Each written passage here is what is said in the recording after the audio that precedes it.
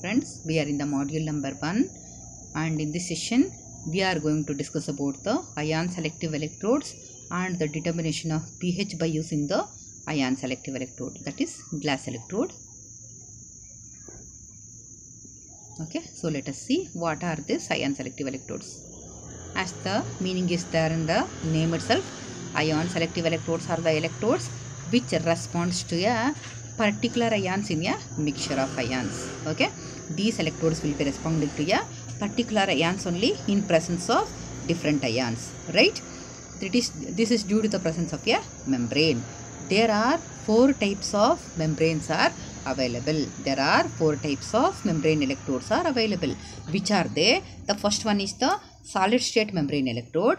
Second one is liquid membrane electrodes. And the next one is heterogeneous membrane electrodes. And the last one is a glass membrane right? We are having in our syllabus glass electrode okay? Here the membrane is made by using a special quality glass okay? These are the different types of membranes available in a ion selective electrodes which responds to a particular ions in a mixture of ions right? Let us see the diagram of the glass electrode. Okay here no there will be a presence of a membrane. Glass membrane will be there. Okay which is made by using special quality of glass. Okay special quality of glass which is made by right? And here there will be a presence of a inside of the glass electrode no there will be a presence of a secondary reference electrodes like either silver silver chloride electrode or calomel electrode will be present in the glass electrode okay? And there will be a platinum wire for external electrical contacts. And in this glass bulb there will be a presence of a internal reference solution like 0.1 molar HCl will be present here okay? This is about the diagram of the glass electrode okay? Coming to the construction and working of the glass electrode here no there will be a tube like structure okay and at the bottom of the electrode there will be a presence of a glass membrane which is made by using 72% of SiO2 22% of sodium oxide and 6% of calcium oxide right?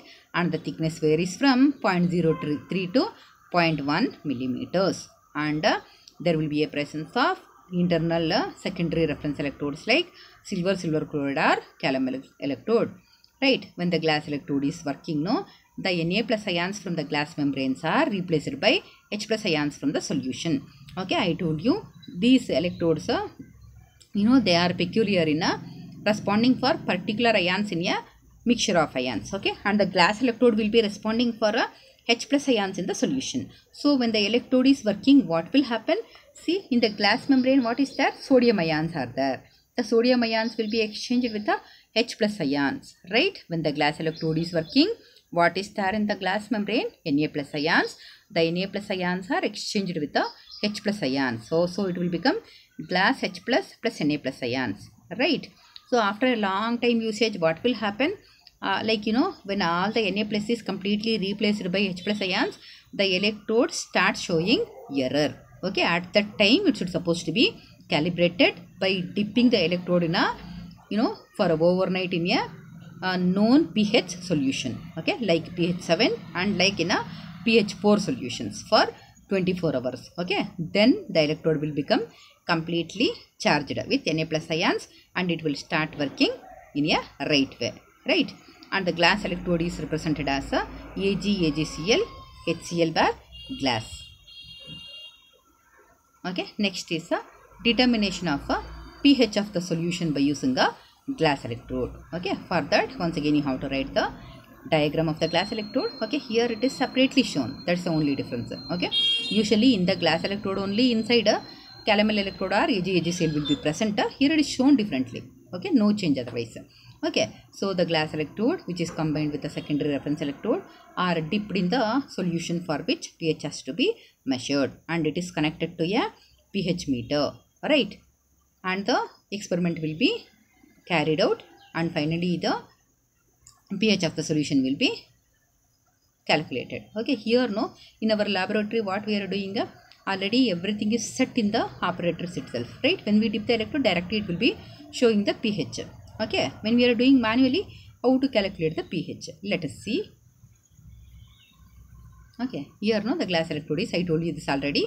Okay glass electrode will be coupled with the calomel electrode and they are connected to the ph meter for which the ph has to be determined.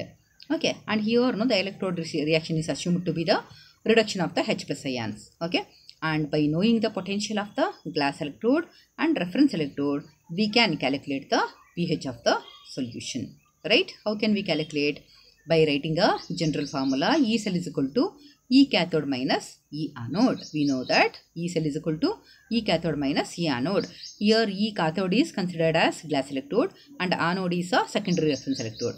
And you should know the potential of the glass electrode. What is the glass electrode potential is given as which is Eg is equal to Eg naught minus 0.0591 ph substitute this in the place of e, e glass so it will become E cell is equal to Eg naught minus 0.0591 pH minus E SRE that is secondary reference electrode potential.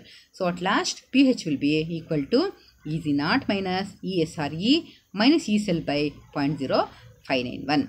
Okay. So we can calculate the pH in this way. Right. Here the important points to remember are the glass electrode when it is working uh, the Na plus ions in the glass membrane will be exchanged with the H plus ions. Right. And the ion selective electrodes are the one which responds for a particular ions in a mixture of ions right? Glass electrode working the equation is very important you have to write. Okay gl na plus plus h plus gives gl h plus plus na plus right? And coming to the determination of ph once again you have to couple the two electrodes glass and the reference electrode which are connected to the ph meter and are dipped in the solution for which the ph has to be determined right? And we can calculate the ph like this by writing E cell is equal to E cathode minus anode and E cathode here we are assuming as glass electrode and E anode is a reference electrode. Finally, you will be getting pH is equal to Eg naught minus ESRE minus E cell by 0.0591. Right? So, this is about the glass electrode. Okay? And we will be meeting with the next new topic in the next session. Until then, thank you all.